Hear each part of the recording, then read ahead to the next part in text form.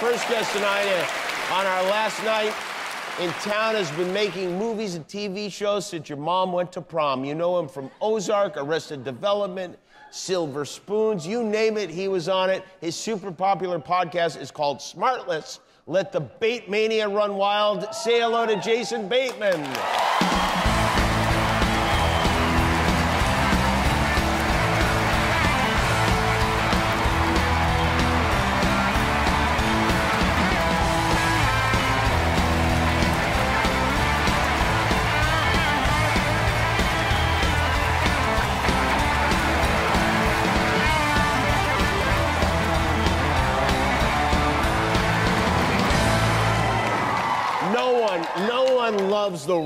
Of the crowd more than you. And Will Arnett.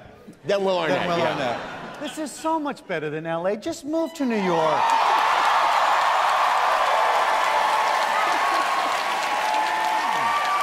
This is like, I mean, if you guys could see the situation in LA, you guys wouldn't get it. Yeah. It's it's just you, f- like just this, uh, the five rows right there. That's it. Yeah, that's it. Yeah. I know, and yet it's interesting you saying move to New York because you live in LA, so you want me to leave. No, I want I want to move to New York. Oh, you want to move to New York, and you won't do that unless I go. Well, yeah, you got kids in school. That's not so easy when you're uh, when you're a dad, is it? I could go back and forth.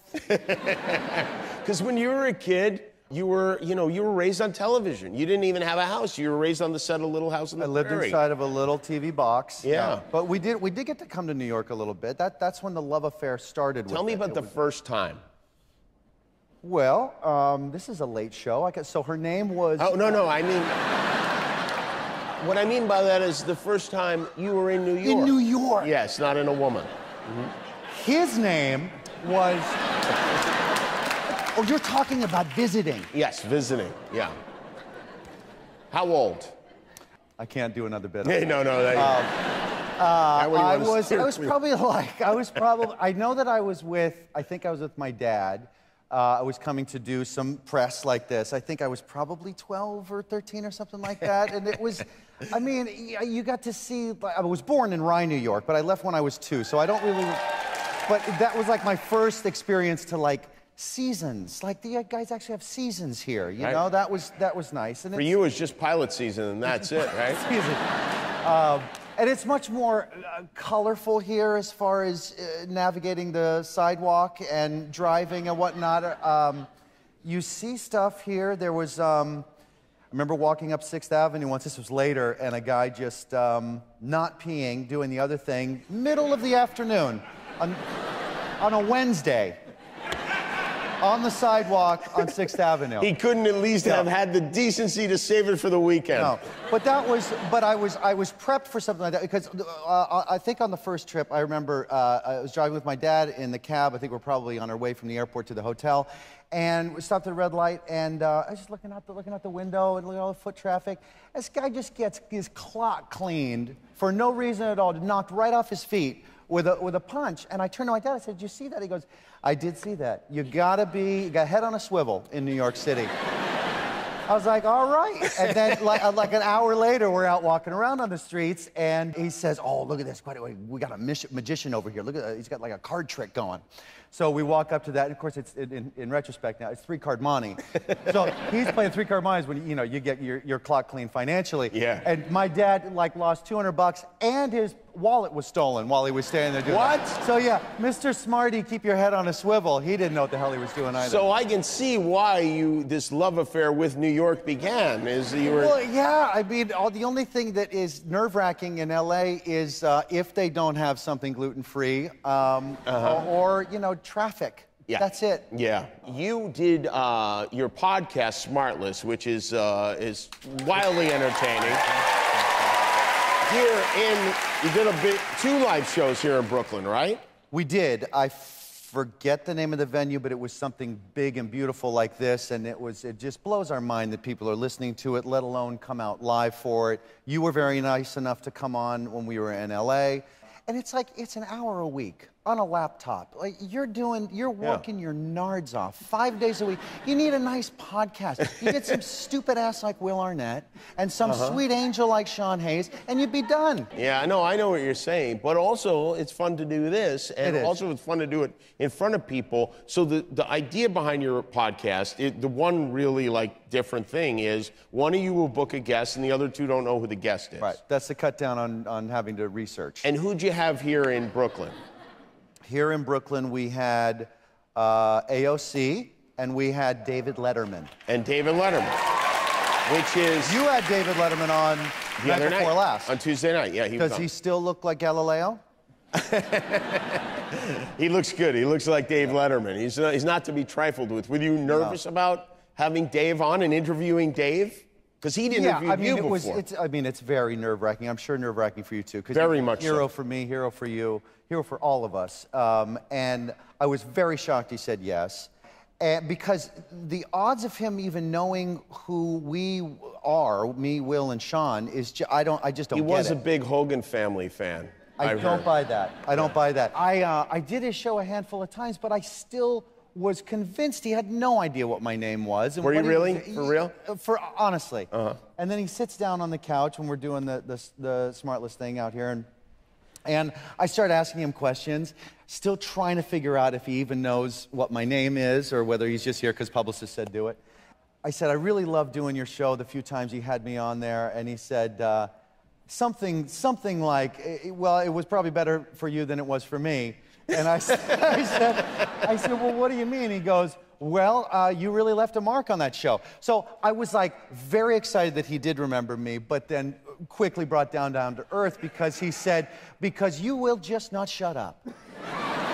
It's like, what do you mean? He says, You're the most long winded guy ever on a talk show. So I'm paraphrasing. Um, but he's like, as I'm going on right now, he said, You just keep going and going and going with a story. I said, Well, Dave, I once saw you on an interview that said, You know, it's the guest's job to talk. It's not your job to talk. It's, you know, it's like the guest isn't doing the host a favor by being on the show. Jimmy's doing me a favor by having me on the show, so I gotta come with stuff prepared. So I'd always have like these stories prepared, and I guess I went on a little too long, notoriously on his show. So they have to change the amount of time they go away to commercial and stuff.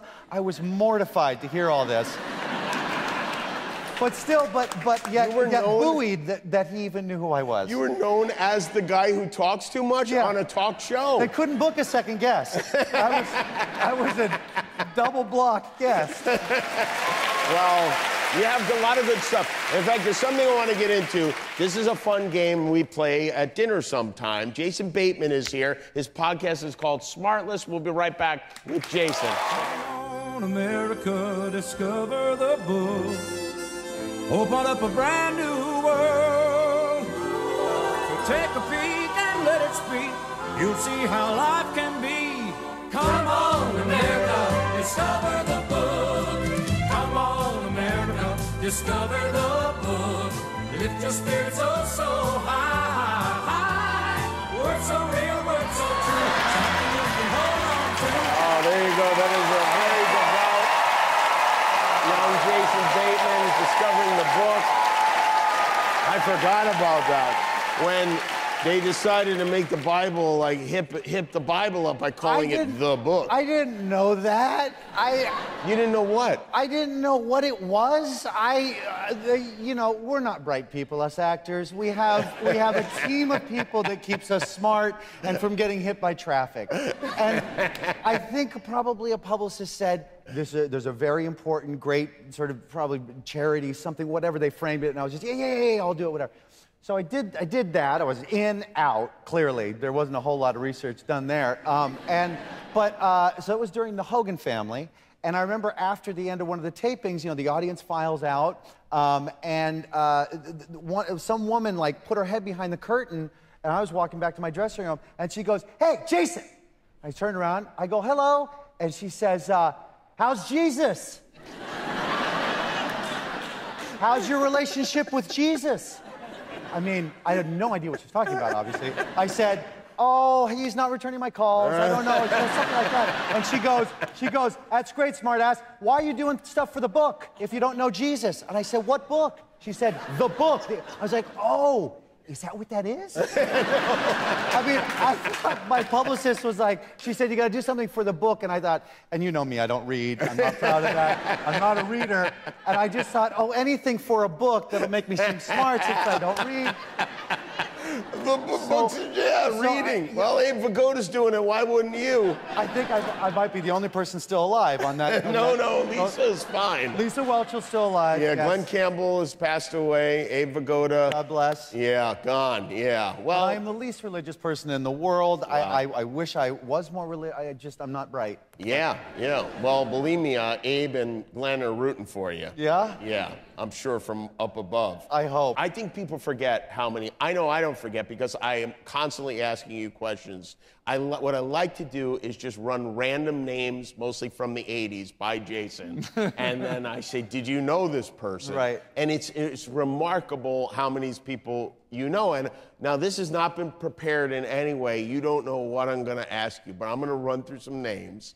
If you don't know them, just pass or whatever. But I think you probably will know What if. I pass on all of them? Well, then it'll be have To terrible. cut this piece. It's okay. You tend to be long-winded anyway. um, Bill Cosby. yeah. I got a Yeah? little, yeah. Well, I was out here in New York doing Uh-huh. uh, some press, some affiliates, some, something or other. I remember being at a large table uh, uh, backstage with Mr. Cosby. I remember my, uh, my mother being between me and Bill, and he was very chatty with my mother. Oh, really? All right. Lee Majors. Never met him, but ooh, I'd love to. Farrah Fawcett. No. Emmanuel Lewis. Webster. Yes. Yes. Yes. Emmanuel Lewis was doing Webster on the Paramount lot, where my sister Justine was doing Family Ties, and I would like to cruise around and bop into other stages and say hi to folks.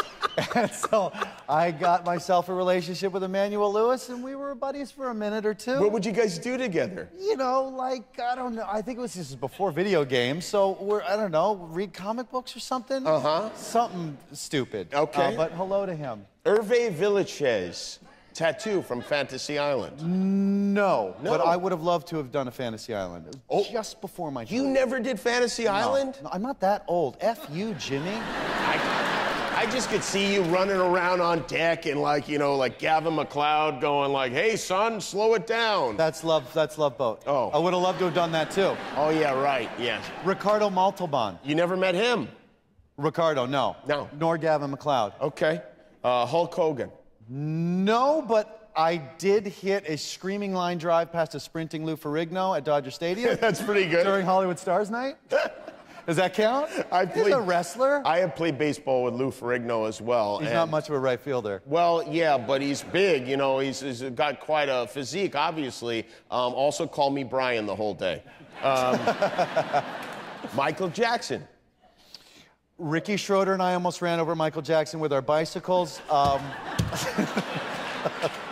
this is while we were doing Silver Spoons at Universal, and we'd need to have our bikes because kids got to play. And Michael was there to see him. To uh, he was. I don't listen. Hey. He was a fan of the show and a fan of the Ricker. And uh, he, he was coming onto the stage while we were zooming off and uh, almost took him down. Wow. Did he moonwalk out of the way? Nice. This is talk show quick. Yeah. Wow. Should I go one more? Let's go on with All bonus right. round. Mr. T? Yeah. okay, go ahead. My, uh, my, my mother uh, worked out with Mr. T's trainer, and, and that's how I got to meet Mr. T. I mean, it's just so random. I gotta retire. I gotta get out of this. No, This is, no. like, I feel like a circus freak. No, you're no. You're a circus of the stars freak, is what you are. I would have loved to have done that. Um, didn't do I would have loved to have done Battle of the Network Stars. Why don't we bring that back? You got juice here, at- you know. I mean, I would love to have Battle of the Network stars. You're not on a network though, so you would be teamless. We'd have to give you a show of some kind. Wouldn't there be a streaming team? Oh, I guess so, but that sounds Need terrible. the face. Yeah. We, we would dominate. Hey, will you, you want to hang around because we're going to do something that we do back in LA. Because you know, in LA, there are a lot of marijuana shops. Like Oh. next to every donut shop, there is a marijuana There marijuana are shop. more dispensaries in LA than Starbucks. True. And so what we like to do I is hear. go out in the street and see, um, or use our powers of deduction to figure out who is high And less importantly, who isn't? And we're going to do that with Jason Bateman when we come back. We'll be right back.